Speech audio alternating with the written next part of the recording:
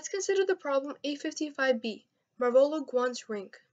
In this problem, we're given n, p, q, and r, and we're also given an array of n integers. Our goal is to maximize a of i times p plus a of j times q plus a of k times r such that i less than equal to j is less than equal to k. The sample input is as shown. Let's first consider how we can maximize a of i times p. Now if we just wanted to maximize a of i times p, we could loop through every single value in the array a multiply it by p, and take the maximum of all of those. However, that's not applicable to the bigger problem. So what we're going to do is use dynamic programming to maximize a of i times p. In order to do this, we're going to create an array of length n called dp. We're going to define every element x in this array to be the maximum value of a of i times p with i less than or equal to x. I'll explain this using an example. Let's look at the sample input. Here I just copied the array A here, wrote the indexes on the top, and created a spot for the array dp. Now the array dp has a length of n, which is 5 in this case, so there's 4 spots. Let's look at how we can calculate dp of 0. So dp of x in this case, for dp of 0, x equals 0. Now this is the maximum value of a of i times p with i less than or equal to x.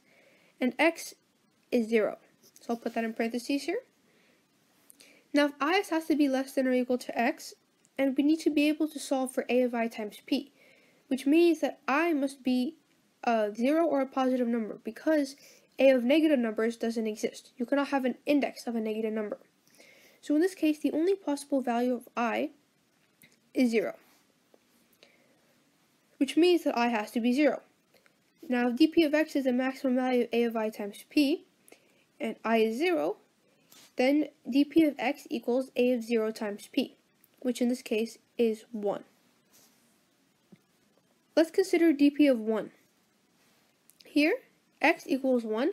We're trying to maximize a of i times p with i less than or equal to 1, because x is 1. If i has to be less than or equal to 1, then i could be 0, or i can be 1.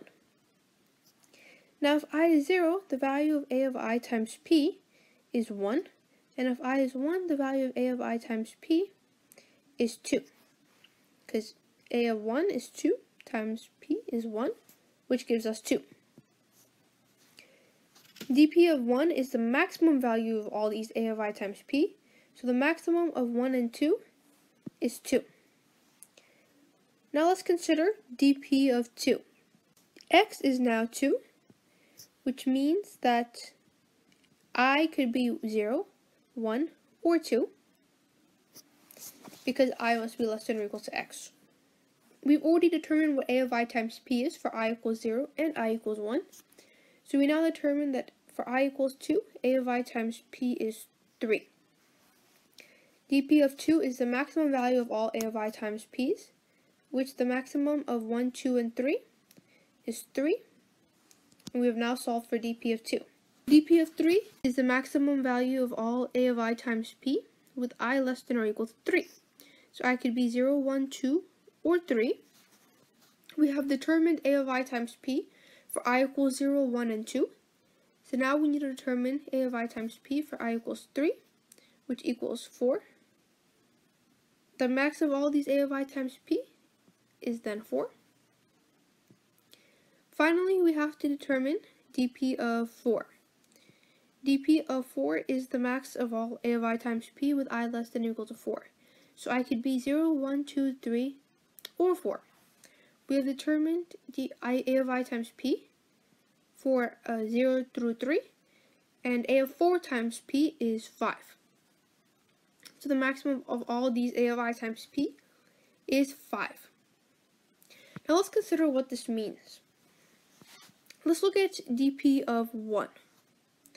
What this means is if there were only two elements in the array and the rest of the array didn't exist, so we only had two elements, 1 and 2 then the maximum value of a of i times p we get is 2, because that's what dp of 1 is.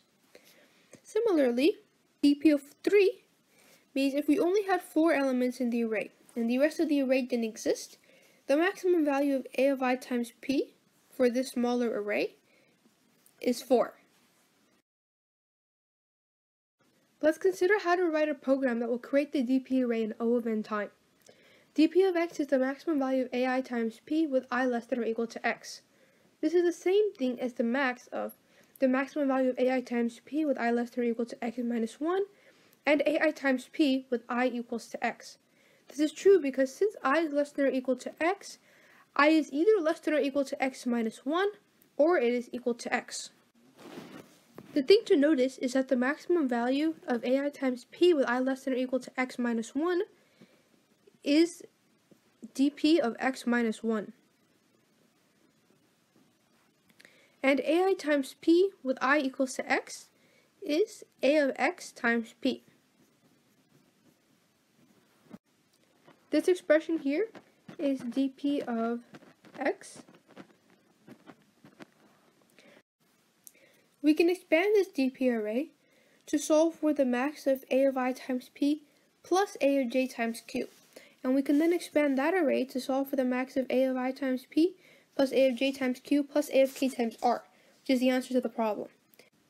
In order to do this, let's call this array dp0. Value of dp1 of x equals the maximum value of a of i times p plus a of j times q, such that i is less than equal to j is less than equal to x. Cases. If j is less than x, then you get a of i times p plus a of j times q, with i is less than equal to j is less than equal to x minus 1. If j equals x, then you take you get a of i times p plus a of j times q, with i less than equal to j, which equals x. a of i times p plus a of j times q, with i less than equal to j less than equal to x minus 1, is equivalent to dp of 1 of x minus 1. For the second part, let's split this into two separate terms, a of i times p and a of j times q. We know a of j times q because we know that j equals to x. Now for a of i times p, to get the maximum value of a of i times p, with i is less than equal to j, which equals x. So with i is less than equal to x. That is what this term here is. Now lucky for us, we know what this is. This is dp 0 of x. And then we have to add in a of j times q. a of j times q is the same thing as a of x times q because j equals x.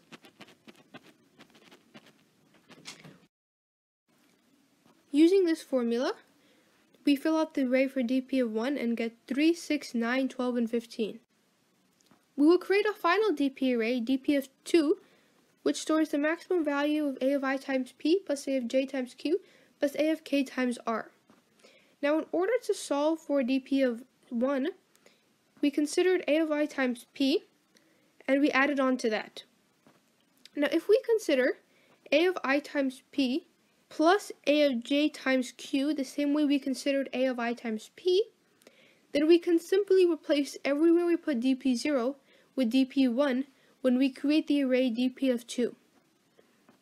This means that dp of 2 of x equals the max, and we're just going to replace dp1 with dp2, and we replace dp0 with dp1,